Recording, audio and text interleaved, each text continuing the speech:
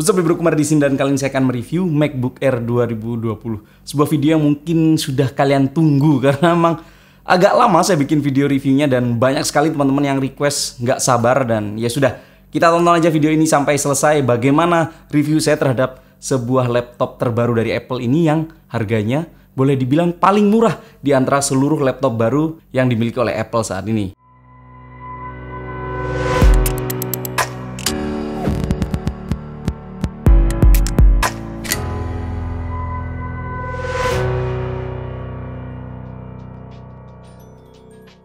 Buat saya pribadi MacBook Air itu adalah laptop yang punya sejarah tersendiri karena keberadaannya pada saat diperkenalkan dulu oleh Steve Jobs, dia mampu merubah dunia laptop yang ada pada saat itu di mana laptop saat itu tuh ukurannya gede-gede. Dan pada saat itu juga Steve Jobs meluncurkan laptop ini dengan cara yang dramatis yaitu dia mengeluarkan laptopnya ini dari sebuah amplop coklat gitulah.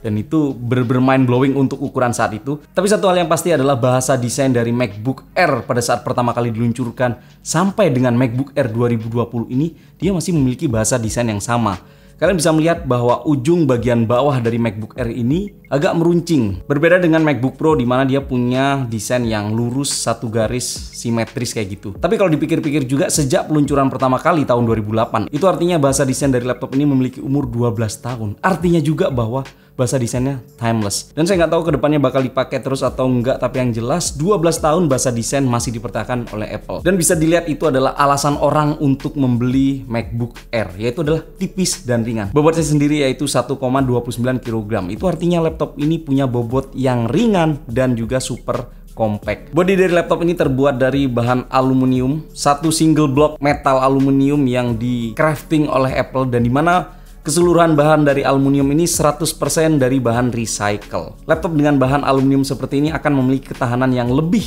jauh dibandingkan laptop yang menggunakan bahan plastik. Terbukti ada teman-teman yang memiliki MacBook Air, MacBook Pro sejak tahun 2012 sampai sekarang itu masih ada yang mulus-mulus.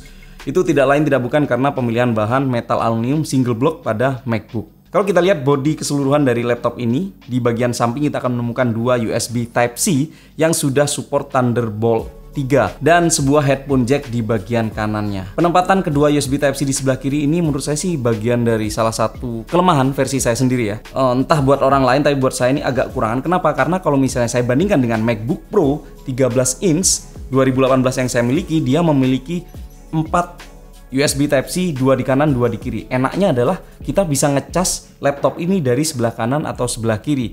Jadi kalau misalnya kita berada di cafe atau sebuah tempat di mana posisi colokannya itu lebih dekat misalnya sebelah kanan, kita bisa colokin sebelah kanan. Kalau misalnya di sebelah kiri, di sebelah kiri. Kenapa? Eh, kenapa nggak MacBook Air 2020 ini punya satu di sebelah kiri, satu di sebelah kanan? Karena menurut saya juga itu akan mempermudah para pengguna. Kemudian kita bahas keyboard. Laptop ini sudah menggunakan Magic Keyboard, sebuah keyboard yang oleh Apple dibilangnya keyboard baru. Keyboard seperti ini sebenarnya sudah dipasangkan pada MacBook Pro 16 inch tahun 2019 dan ini akhirnya MacBook Air diperbarui tidak lagi menggunakan butterfly keyboard tapi menggunakan Magic Keyboard. Walaupun ini sebenarnya ini kayak kembali ke zaman dulu MacBook Air yang awal-awal. Tapi ini adalah hal positif. Kenapa? Karena pengalaman mengetiknya itu lebih nikmat banget dibandingkan butterfly keyboard.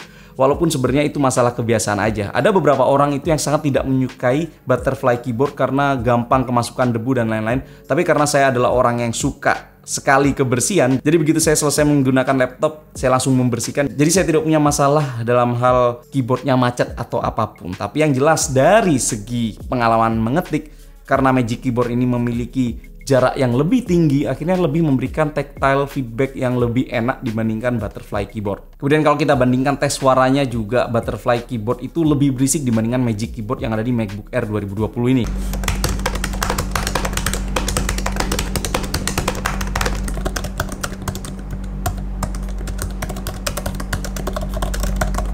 MacBook Air 2020 ini tidak memiliki touch bar memang di sebelah atasnya. Tapi menurut saya ini hal yang positif buat saya pribadi karena pada prakteknya touch bar itu jarang sekali saya pakai. Saya pakai cuma untuk kebutuhan dasar seperti naikin turun volume, kemudian naik turunin brightness dan naik turunin uh, backlight keyboard. Dan karena laptop ini tidak memiliki touch bar, dia memasangkan semua fungsi itu pada tombol masing-masing dan itu menurut saya memudahkan. Kemudian di sebelah kanan ini kita akan menemukan fingerprint scanner yang sudah menggunakan chip T2 chip yaitu sebuah chip untuk membantu security atau keamanan dari laptop ini.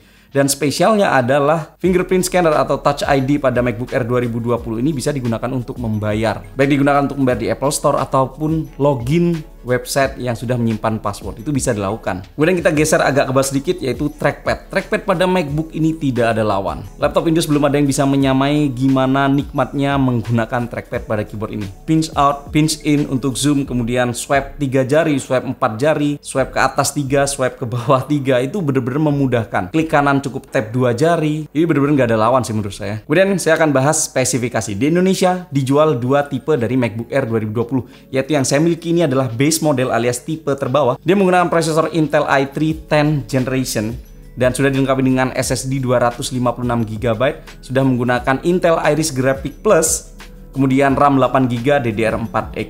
Kalau dilihat dari base model ini dan dibandingkan dengan MacBook Air tahun lalu, storage-nya sudah double, dua kali lipat. Ini adalah keunggulan Sekaligus alasan saya tidak merekomendasikan Anda membeli MacBook Air 2019 dalam kondisi baru saat ini. Mending kalian beli MacBook Air 2020 ini. Harga base model MacBook Air 2020 ini adalah 15,9 juta. Saya sudah sempat bikin video unboxingnya, silahkan cek di sini. Kemudian tipe kedua yang dijual di Indonesia adalah yang memiliki prosesor i5 quad-core 10 generation dengan internal storage 512 GB SSD dengan dilengkapi RAM 8 GB DDR4X, kemudian Intel Iris Graphic Plus juga. Sebagai perbandingan tes benchmark di Geekbench, skor single core-nya adalah 1013, multi score-nya adalah 2152, dan OpenCL score-nya adalah 5714. Kemudian kalau saya bandingkan dengan yang versi i5 atau tipe kedua, MacBook Air 2020 ini yang dimiliki oleh Henki Trending Tech dia single core-nya skornya adalah 1118. Kemudian multi core skornya adalah 2688 dan open CL-nya 8474. Jelas secara skor memang ada perbedaan tapi ya udahlah menurut saya itu worth it karena perbedaan harga 5 juta. Walaupun laptop ini menggunakan prosesor i3 dual core tapi dia sudah 10 gen. Artinya dia sudah lebih kencang dibandingkan dengan MacBook Air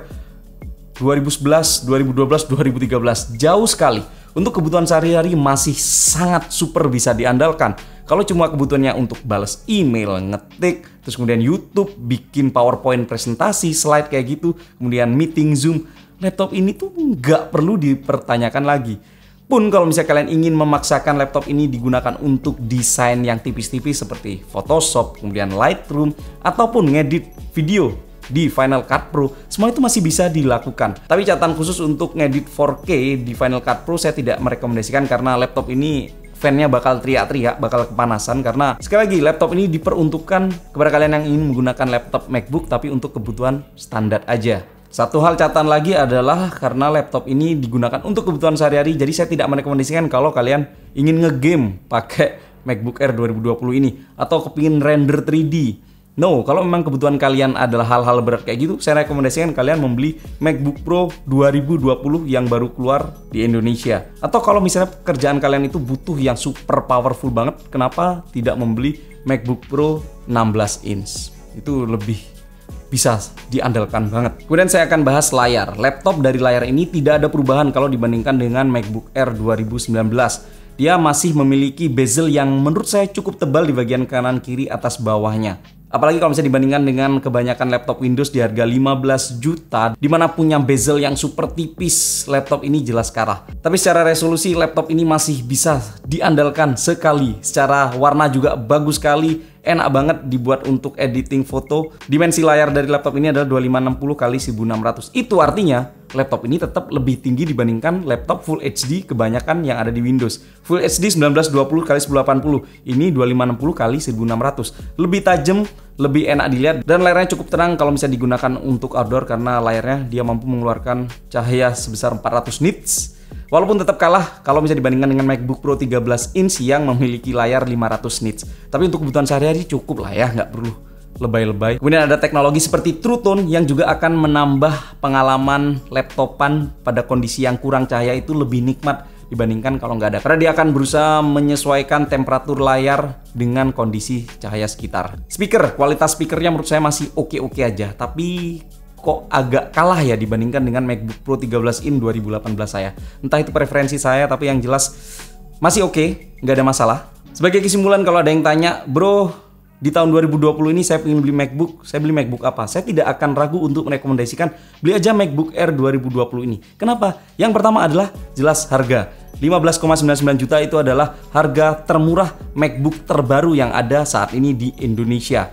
Dan karena dia terbaru artinya laptop ini future proof. Bayangkan aja, Mac OS terbaru yaitu Mac OS Big Sur bisa digunakan pada MacBook Air tahun 2013.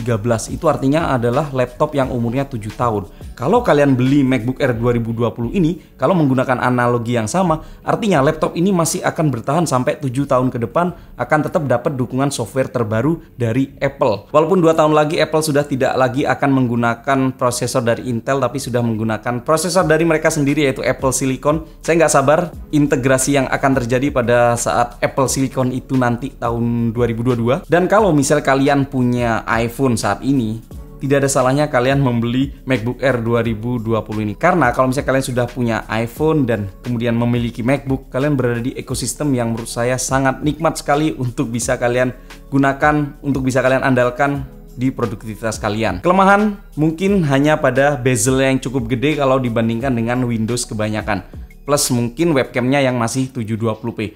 Tapi walaupun laptop ini prosesornya masih i3 dual core, tapi jangan lupa i3 dual core-nya 10 gen generasi terbaru dari Intel. Lebih powerful dibandingkan MacBook Air yang lama-lama lama-lama. Jadi untuk kebutuhan sehari-hari tetap bisa diandalkan. Ini laptop yang bisa diandalkan untuk kebanyakan orang.